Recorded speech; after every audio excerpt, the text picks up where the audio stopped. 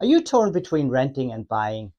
Homeownership builds wealth through equity and rising home values, giving homeowners a net worth of nearly 40 times higher than renters.